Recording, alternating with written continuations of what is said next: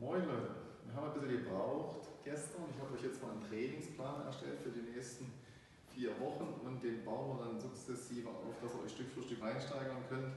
Und mit reinsteigern meine ich in die Pandemie. Ja, wir steigern uns quasi so lange rein, bis die fertig ist und dann können wir hier wieder Functional Fitness machen bzw. Geräte nutzen, was auch immer. So, heute machen wir Ausfallschritte in Kombination mit Klappmesser. Wichtig ist Ausfallschritte nach vorn heute. Ja, das heißt, ihr geht wirklich hier in den Schritt rein und wieder zurück. Das könnt ihr euch aussuchen, ob ihr quasi immer ein Bein zusammen macht oder ob ihr es abwechselt oder könnt das in jedem Satz wechseln.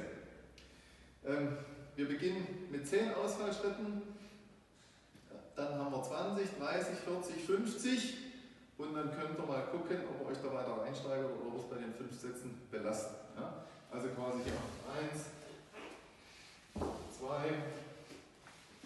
3, es zählt immer zusammen bis 10 hoch. Oder halt Grunde genommen 1 und dann macht er halt hier insgesamt 5, ja, 2, 3, 4, 5 und dann wechselt er.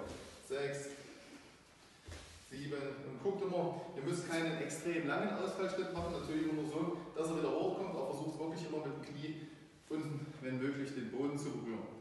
Und dann wechselt er das Klappmesser, kennt ihr, schön lang hinlegen, lang machen und ruhig mit Schwung arbeiten.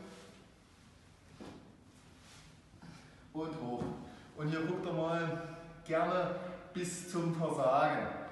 Ich denke, es sind bei den meisten 10 Stück drin, beziehungsweise die Pros kriegen auch 20 hin. Das bedeutet 10 Ausfallschritte bis zum Versagen, Klappmesser. 20 Ausfallschritte bis zum Versagen, Klappmesser. Und so weiter. Mindestens bis zur 50. Die Pros können weitermachen.